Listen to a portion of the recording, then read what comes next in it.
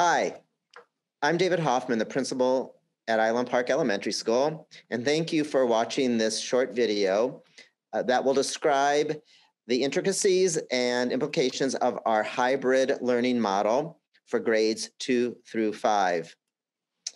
My colleagues and I will be sharing different aspects of the model, and I'm going to start by actually showing you the hybrid schedule and quickly going through what that schedule means for your child.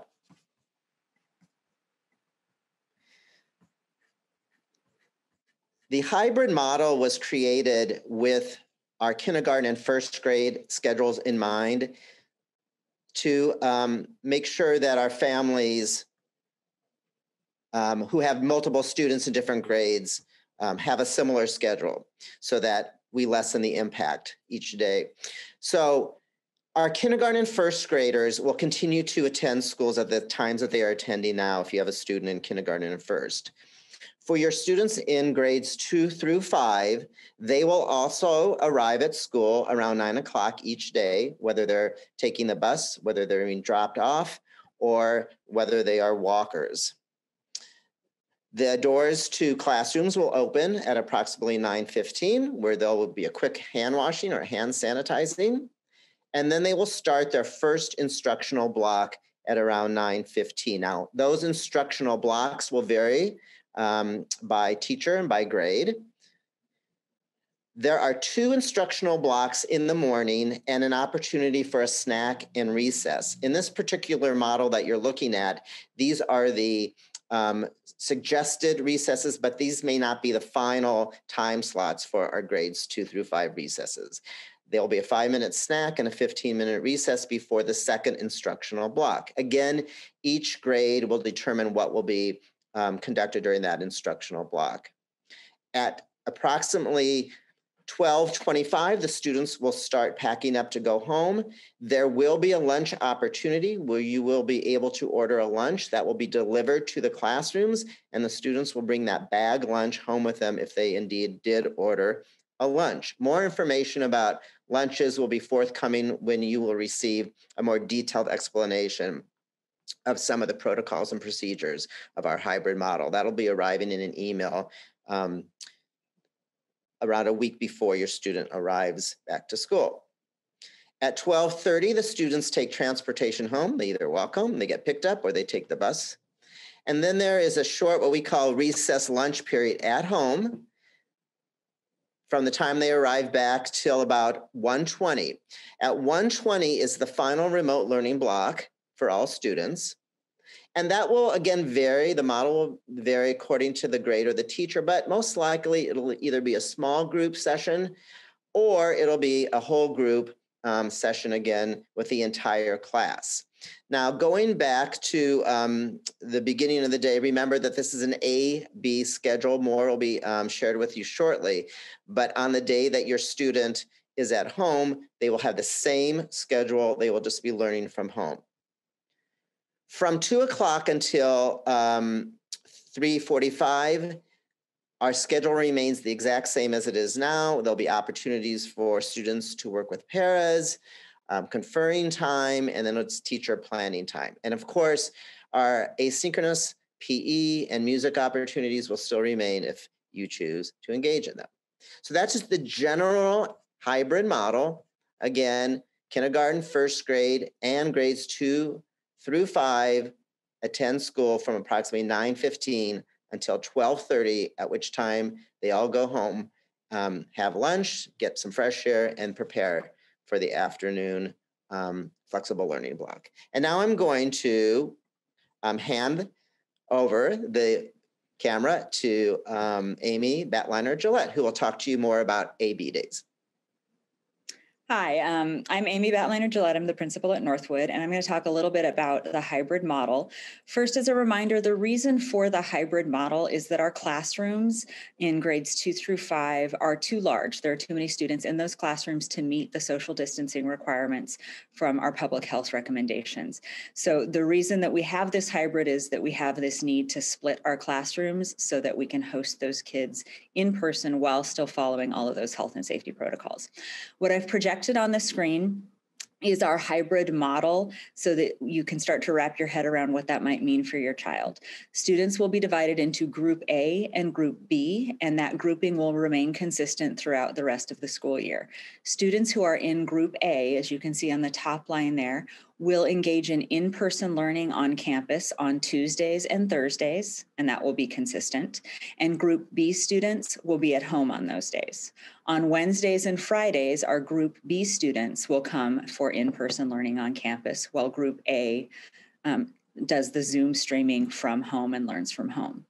On Monday, that's our alternating day. So on Mondays, you'll we'll be providing you with a calendar and a schedule so that you'll see whether that is a group A in-person day or a group B in-person day, and those will alternate week over week. This means that on any given week, your student will be um, will have the opportunity to be at school in person for learning two or three days during each of those weeks, and then it will just flip flop. Um, we used a variety of, of reasoning to try and get to this um, and, and help it be predictable for families. Our goal is to make sure that um, we have siblings on the same schedule to support families across their learning. And our goal is to get your target or, or your assignment of your AB groupings for your children to you um, with a target date of February 2nd um, so that the second and third graders who are starting on the 8th will have that information in, in time. When we think about this hybrid model, that does mean that some students are learning at home while some students are learning in the classroom. And that requires a different set of strategies and frameworks for our teachers to employ to engage both of those sets of learners. So, um, teachers have been learning about those different frameworks and strategies. Um, our instructional coaches and our learning services department have been um, researching and sourcing different structures and strategies, and our teachers are engaging in professional learning. Just like when we first started our remote learning, we are all once again learners in this. This is not something that has been a typical model of education ever before. And so um, we hope that you will partner with us as we all learn how to uh, engage all of our students and help them to move their learning forward in this new model. I'm going to hand off now to my colleague, Heidi Christensen.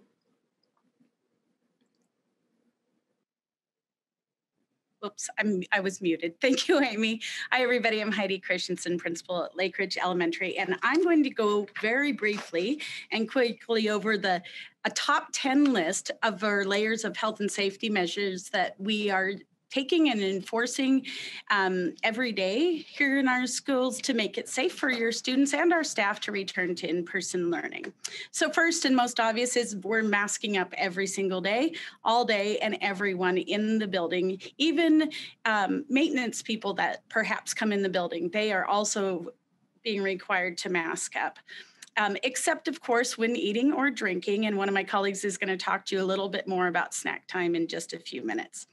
Um, we are limiting the eating and drinking at school. We're eating snack outside, sending students home before lunch. Number three on this top 10 list is, of course, the physical distancing. Um, six feet, we're maintaining six feet as often as we can throughout the day in the physical space of the classrooms every student has an individual student desk. They will all be facing forward all the time and be spaced at six feet apart. Um, like I think Amy mentioned a few minutes ago, uh, that, that's what's limited our numbers of students that we can have and hence forcing the AB schedule for our second through fifth grade, but we are we are maintaining that. Um, and we are maintaining that six foot of distancing. We have markers all throughout our schools to help students um, uh, manage themselves when they're lining up or walking in lines and so forth. Anytime during the student day when we can't maintain that six foot bubble, if you will, it'll just be in passing.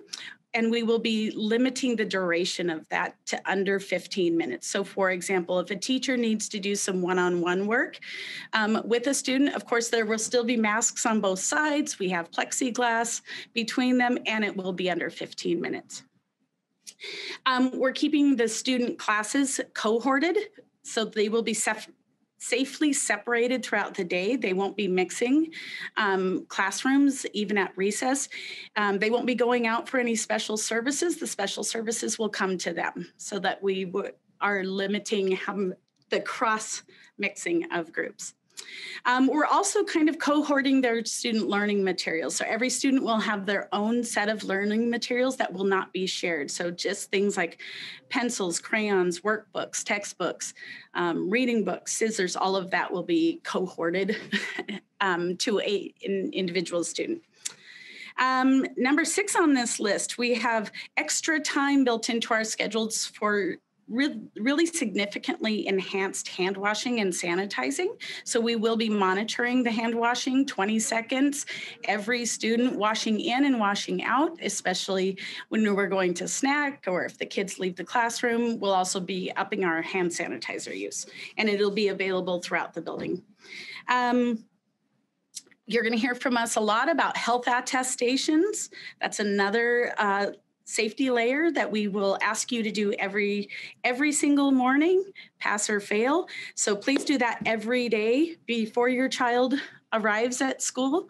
Um, and another one of my colleagues is going to talk again about that in more detail but please fill that out honestly and early by 8 a.m would really help our office staff out if you could get those done by 8 a.m every day. Um, our nurse, nurses' offices, our nurses, our health rooms have been set up and for an isolation space. If a kid was to develop a cough or, or a sneeze at school, we have safe spaces for them to come and be taken care of and assessed by our nurses. Um, and our nurses are also training our staff to be really vigilant in noticing those symptoms and sending them to sending them to the nurse's office if they see a child um, getting sick at school, because that does happen sometimes. Um, number nine, our school ventilation systems are wide open. We've maximized the ventilation, we've changed filters. So please send your children with layers, even those kids that wear shorts every single day of the year. If you could send them with a hoodie or a sweatshirt or something with layers, because they will be spending a lot more time outside, and our buildings are a little chilly here and there. Um, and last, our custodial staff has really is taking extra steps every single day before school, during school, and after school. So additional cleaning, we have our um, our electrostatic disinfectant sprayers that are going through every space every evening, and we're we're using our Oxivir cleaning our um, I believe it's a, a, medical grade or a hospital grade disinfectant cleaning throughout the day to keep our spaces safe for your kids. So that concludes my top 10, and I'll hand it off to my colleague, Jill Kelly. Thank you, Heidi. Good morning. I'm Jill Kelly. I'm the associate principal at both Lake Ridge and at West Mercer. And I want to speak to you more about the health attestations. This is perhaps the most essential piece that is easy to forget. And we really want to implore that you really make it a top priority every morning. You will be receiving um, an email from Andrews Ronser. He is in our district and he's going to be sending out very detailed information about how to access your health attestation on Skyward. It's very easy. As a matter of fact, you can get the uh, the excuse me, the Skyward app, and it's very user friendly. I use it myself every day for my own attestation. Um, it is easy to go in, and you, as we said, daily, and as Heidi said, by eight o'clock is really preferred. We really start checking our health attestations well before the students arrive, so we can really know um, who's ready and, and healthy for school. Uh, you can also set up um, a, te- a, a, text, a daily text message uh, to be able to remind you to do that. So there's multiple ways that you can get those reminders to get um, an email reminder, a text reminder, so that you don't forget to do it. Without the attestation, students cannot stay at school. So it's really essential that that attestation is done and it's done honestly and with a temperature check. Every morning you need to be checking your child's temperature to make sure that it's in the healthy range and that you can answer the questions on the attestation honestly and quickly as we keep mentioning. Gone are the days where giving a child tylenol to hold off a symptom and just send them to school. Those days are no longer with us unfortunately. We're taking our health attestations very seriously and we don't want to put you you at risk your child at risk, each other at risk. So it's really essential that those health attestations are done um, routinely every day with honesty, with all the precautions. Um, we want to keep everyone safe. So, um, if you have any health attestation questions, you're of course welcome to email um, us, email the nurse at your school. They are a great resource for any questions that you have. Um, I think without further ado, I think I've hit health attestations to a healthy level. And I'm going to go ahead and pass this off to my colleague, Carol Best. Hello, everyone. I'm Carol Best. I'm the principal at West Mercer, and I get the pleasure of talking about many of our students' favorite subject, snack and recess. So every child will have the opportunity for snack and an outdoor recess. The plan is for snack to be outdoors under cover and it will be important that you send a, a, healthy snack that your child can open on their own.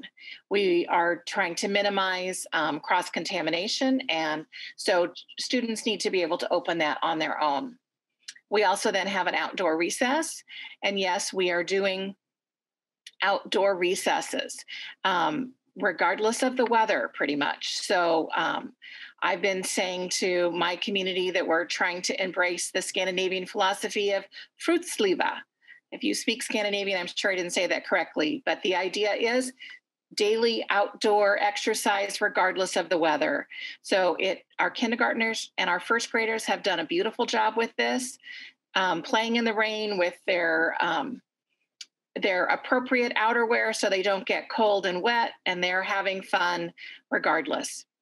We also are making sure that we are cohorting students during recess. So students during snack and during recess will stay in their class co- cohort, cohort.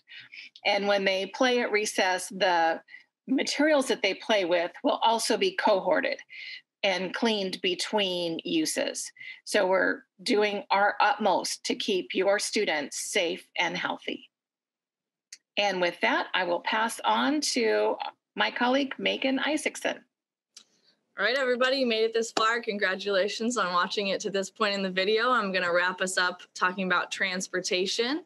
Um, really, primarily bus transportation. It's an eco great, friendly way to make it to school each day. And uh, we have a lot of great systems set up to make sure that those uh, rides are safe and healthy, starting with taking the attestation prior to getting on the bus. Um, that's 100% important. The bus drivers are checking um, those attestations and making sure that every student has completed those and, and passed them before getting onto the bus. So those that, that needs to happen, number one. Um, we also have a mitigation on the other end once arriving to school to kind of double check if there's anything that we're missing there. So safe ride to school, eco-friendly. Um, there's information on the website with a cute little bus icon if you want to find out more about your students' transportation routes and options, please check there. If you are driving or walking, same thing goes. It's really about completing that attestation on the front side early on so that our staff checking in with families can say hello, check you in, and, and move on to getting our learning started. So thank you so much for watching this. Um, have a wonderful day, and we can't wait to see your students back in our schools.